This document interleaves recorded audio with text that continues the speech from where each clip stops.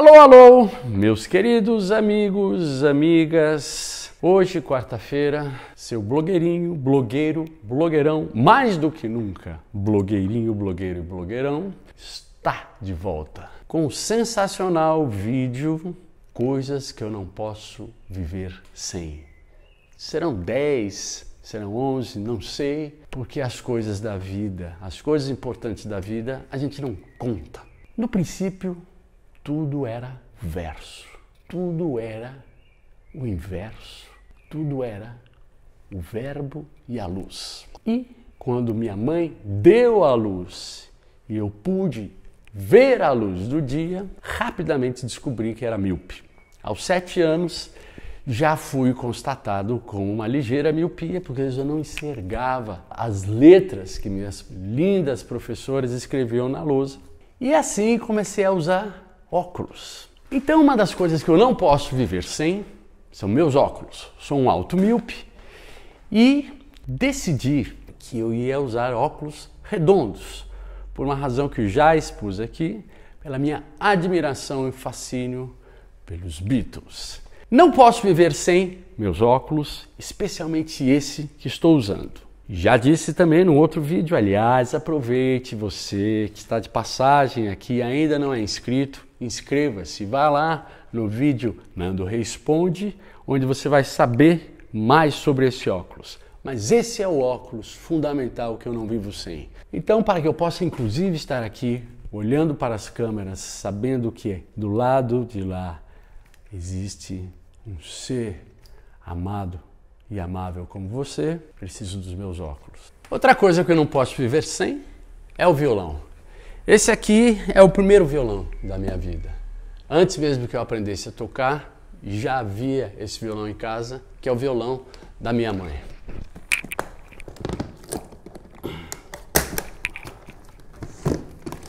O Giannini, 1964, comprado pelo Paulinho Nogueira, foi professor da mamãe, também meu professor. Há também um vídeo específico falando de todos os meus violões que você pode ver aqui no meu canal. Esse é o violão que tinha lá em casa, nesse case maravilhoso, fundo vermelho. Depois eu ganhei o meu primeiro violão, que foi um Janine pequeno, onde aprendi a tocar. Só vim conseguir tocar esse muito mais tarde, quando cresci. Mas aqui foi que eu uh, me apaixonei pelo instrumento. Compus muitas músicas nesse violão. Me diga. Muitas linhas de baixo dos Titãs. Então, o violão, os meus violões, eu não posso viver sem. Outra coisa essencial que eu não posso viver sem é a música. E a música, para mim, está relacionada, associada com os discos. Esse é o disco Marco Zero, Seleções Carrossel. É um disco de música infantil que eu ouvia muito. Na verdade, nem é o meu original, porque ele se perdeu, ficou tão riscado. Mas é uma coisa maravilhosa, uns arranjos completamente orquestrados, um tipo de vozes, de, de harmonização, de que não, não, se faz mais hoje em dia. Eu fui ouvir com a minha neta, eu não tenho, eu tenho a impressão de que ela quase que se assustou. Tal a estranheza e a beleza dessa canção. Há discos fundamentais na minha vida. Eu tenho uma coleção enorme de discos. Herdei a coleção de discos que veio da casa dos meus pais. Mantive a minha, que fui comprando ao longo da vida até surgir a praga do CD. E agora continuo a comprar, pois felizmente o disco de vinil, o disco, né? Esse vinil é um negócio estranho para mim. LP no máximo, mas o disco sobreviveu e voltou. Os discos capitais esse aqui, o álbum branco dos Beatles, o George Harrison, All Things Must Pass. Esse disco aqui é o disco do Caetano, gravado em Londres, no qual eu aprendi. Foi ali que começou toda a minha relação com o violão, quando eu tirei praticamente todas as músicas de ouvido e acho que isso deu a mim uma sensação de, de liberdade, de compreensão, de, de abriu-se uma porta um universo no qual eu adentrei e nunca mais voltei. Ah, eu estou cercado de discos incríveis aqui, mas eu acho que não vai dar nem tempo de mostrar todos, Mas eu vou mostrar os discos capitais. Esse aqui eu ganhei quando tinha Led Zeppelin 3, para quem não sabe. A capa que eu sempre moldou o meu, o meu fascínio pelas capas. Esse é o original. O original, olha o selo, que coisa maravilhosa. O original, digo, o primeiro que eu ganhei quando minha mãe ou minha avó trouxe isso da Inglaterra. Cara, esse disco ele não só fez a minha cabeça, como ele é talvez a, a, a, o, o pilar essencial da concepção do que é para mim fazer um disco, daquilo que, que moldou a minha sonoridade. Junto com esse outro disco aqui, na verdade, a junção do rock com a música brasileira, da guitarra elétrica com o violão, estão talvez exemplificadas da maneira mais crassa e clara nesses dois discos, nesses dois polos que é a minha relação com a música. O que está aqui é a coleção de Sebastião, pois não estou na minha casa onde estão meus discos. Mas olha que genial, o Bastião tem esse disco maravilhoso que está autografado pelo Gil. Sebastião, aquele abraço. Outro disco de capital importância é esse aqui, Ogum Xangô, Gil e Jorge, Gilberto Gil e Jorge Ben, de 1975. Eu chamo esse disco da minha Bíblia. Há dentro dos discos essa é uma coisa maravilhosa que, que foi ah, criando ao longo da minha vida marcos, assim como se fossem degraus, camadas geológicas no qual eu fui formando. Eu, algumas coisas na minha infância, outras mais tarde.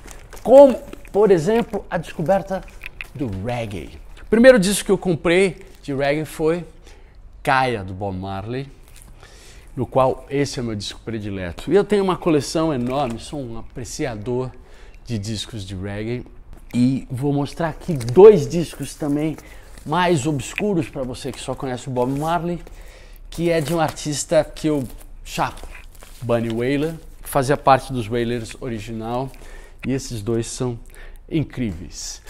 Enfim, há inúmeros discos, os discos fazem parte da minha vida a ponto de eu ter uh, começado a minha profissão e tendo gravado a minha primeira banda neste disco aqui, Os Camarões, e depois de ter feito muitos discos com os Titãs, até que chegou o maldito CD, na minha carreira solo, consegui fazer alguns LPs. E esse aqui, o Jardim. Qual é a melhor forma? Sim, sim, né? Jardim Pomar. A música, de alguma maneira, ela é a constituição do meu ser, da minha vida. Então, das coisas que eu não posso viver sem, é o meu corpo. E no corpo, é uma espécie de embalagem da nossa, do nosso espírito, da nossa mente, do nosso coração, dos nossos sentimentos. Eu não posso viver sem minhas botas de couro. Eu tenho inúmeras botas. Enfim, provavelmente todas as coisas que vocês vão ver aqui já foram mencionadas em outros vídeos que eu não vou ficar falando, falando, falando, que esse vídeo vai ficar muito chato. Mas as botas de couro, eu comecei a usar botas por influência do meu pai, que também está mencionado na música Me Diga e no Pré-Sal, que são duas músicas essencialmente autobiográficas, que eu parei de usar tênis Logo na minha adolescência eu usava só para jogar futebol e mais tarde para poder fazer ginástica. Eu acho couro uma coisa linda e, e sempre gostei de cadarço. Há um sapato, talvez seja a matriz de todos os sapatos, que era um sapato que meu pai tinha. Um sapato marrom comprado na Europa, desse modelo inglês, Oxford, assim, que é cheio de furinhos, e ele tinha um cadarço que era maravilhoso, que era encerado. Eu olhava para aquele sapato que eu não podia usar, porque evidentemente era muito maior do que o tamanho do meu pé, e aquilo me encantava como uma obra preciosa da manufatura, um trabalho de um artesão e uma coisa que compunha a ideia da definição do estilo de uma pessoa, da sua, na, sua for, na forma de se vestir, nas suas escolhas. Eu vou para um segundo item das coisas que eu não posso viver sem, que também está em mim: blue jeans, as calças jeans, que na verdade na minha infância era a famosa calça Lee, que depois virou a calça Leves. O calça Lee era conhecido na minha infância como uma marca de calça de blue jeans. E tinha, na verdade, no Brasil começou a fabricar uma calça que eu tive, o S-Top. Não tenho mais nenhuma. E também das calças jeans, as minhas jaquetas jeans, que viraram coletes quando eu cortei as mangas e que são roupas que eu uso também no palco. Outra coisa que eu não posso viver sem é o meu anel de leão. Esse anel de leão que eu mandei fazer, na verdade, a partir de um anel que eu comprei, de um anel de leão de prata que eu comprei numa feira em Londres, quando fui para lá em 1988. Daí mandei fazer um de ouro que eu uso nesse dedo aqui, também por influência do Bob Marley. Aliás, o leão é um símbolo uh, na minha vida que tem muito a ver com o reggae, que tem também a ver com a ideia da juba do leão, do cabelo crespo, que outrora já tive mais basto, e do meu sobrenome, Reis, que de alguma maneira sempre achei graça, embora eu não more na selva, de ser um reis da selva daqui que não habito. Um reis exilado de sua selva primordial. Ai, ai. Ah, na verdade, essa coisa engraçado e estética da, da, da, forma como eu me visto, das coisas que eu acho bela, ela é uma trança, é toda uma trança que junta corpo, espírito, a forma e essência. E as, as, as coisas, na verdade, são códigos indicativos de uma linguagem. Tudo para mim, todos esses elementos das coisas que eu não vivo sem, é uma espécie de percurso que vai se desenhando ao longo da vida das coisas do que você vai se identificando, se apropriando dos seus códigos, dos seus critérios e que constitui aquilo que é a sua personalidade, a sua individualidade. Então, na verdade, essa ideia do que é essencial, de alguma maneira, uh, se liga com o que é vital, e por mais que possa parecer que objetos são coisas supérfluas e não estão associadas àquilo que é essencial, de alguma maneira, de algum modo, eles são através dos objetos que você e das coisas que se manifesta a forma com a, daquilo que você colhe. Assim como esse anel e esse brinco que eu uso, ah, eu comprei na mesma feira lá em Londres. Esse brinco é um brinco português. E eu sempre achei graça também no, no ouro, né, no dourado, como associação com o meu cabelo. E de alguma maneira eu carrego essas coisas junto assim como esse. Opa, Carol, fiz um barulhinho. Essa estrela aqui é um presente que eu ganhei da Vânia, que é um objeto quase que pertence ao meu corpo, no qual eu sou apegado e não vivo sem. Outra coisa que eu não vivo sem, talvez ninguém possa viver sem, é a carteira. Essa é a segunda geração de uma carteira de couro que está em vias de se de acabar e que eu preciso encontrar antes que essa fábrica feche. Mais do que o dinheiro que é necessário carregar e obter na vida, para sobreviver. A minha carteira, ela guarda pequenos objetos que eu posso carregar comigo e que mesmo que eu não fique vendo, eles são importantes. É a ideia do relicário. Aqui na minha carteira estão as minhas polaroids, as minhas fotos com Vânia, com meus filhos. Antigamente tinha 3x4, agora não tenho mais 3x4 que a carteira fica uh, lotada. E a forma de eu carregá-los aonde quer que eu vá. Essa é uma, uma foto que eu acho linda. É no aniversário da Vânia, quando eu dei de presente para ela um buquê, junto com a música 4 de março, que começa justamente com o verso. Hoje, outra vez, estamos juntos para festejar o seu aniversário. O aniversário dela é 14 de fevereiro e a música 4 de março, por uma razão pessoal. Aliás, das coisas que eu não posso viver sem, estão os segredos.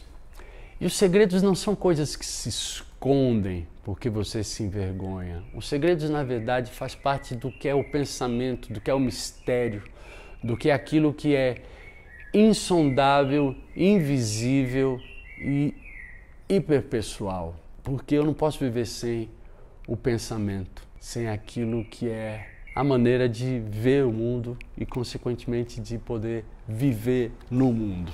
Eu, embora não me julgue um cara supersticioso, ah, tem coisas aqui que eu não posso nem mostrar porque fazem parte do desse mistério. Mas ah, aqui mais fotos da Vânia. Ah, esse aqui é sensacional.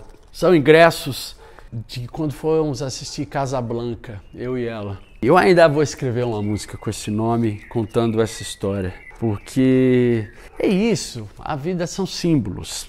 A carteira com a chave de casa, porque a chave de casa é, é o símbolo do retorno, é o símbolo do lugar para onde se volta, porque a vida é ir e voltar. E eu, na minha profissão, dou muitas voltas. E o próximo item tem justamente a ver com isso. Eu não posso viver sem trabalhar. E o meu trabalho, sendo músico, basicamente é viajar. E há aqui na minha frente as minhas malas. E a minha bolsa. Essa bolsa que eu comprei numa viagem também importante da minha vida, quando eu e Vânia fomos para o Japão comemorar os 50 anos de vida dela. Comprei essa bolsa e desde lá nunca mais larguei. Talvez seja o objeto que mais me acompanhe. Ela tá tão velha que começou a furar e eu tive que colar esses sei lá como chamam isso, badges, acho que é esse o nome. Enfim, essa bolsa junto com as minhas malas. E eu comecei a adesivar as malas como marca também, como lembrança, as cascas, cascas da sua casa, como eu falo na música Para Querer. Na verdade, tudo que eu não posso viver sem está escrito nas músicas. Vocês deviam ouvir as músicas, não ficar me vendo falar. eu vou ficar na boca. aqui nos adesivos, muita coisa. Meu time do coração, que anda uma desgraça. Lugares importantes por onde eu passei. Ah, esse aqui é bacana.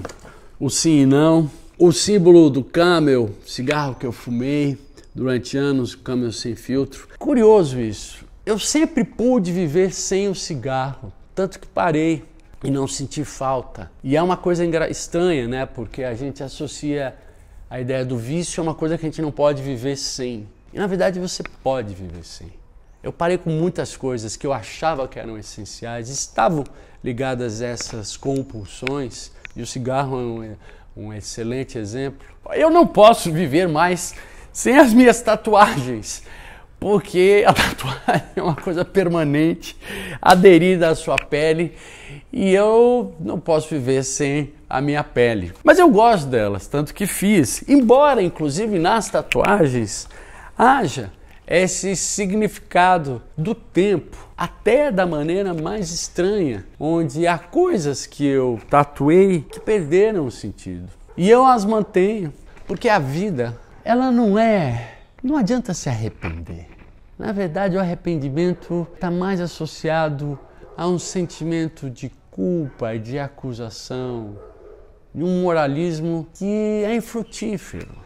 Na verdade, o que há é a experiência. Não há experiência que se dê de outra forma senão a experimentação, ou seja, naquilo que você desconhece e opta, e escolhe e faz, e nem sempre você vai acertar. Evidentemente que é melhor calcular os riscos. Uma tatuagem, por ter esse caráter permanente, é bom pensar. Tanto que eu demorei para fazer tatuagem, comecei a fazer com já tinha 40 e tantos anos. E mesmo assim, tem coisas que hoje eu não faria, mas ao mesmo tempo as mantenho por conta disso. São as cicatrizes, né? As marcas da vida, que nem envelhecer.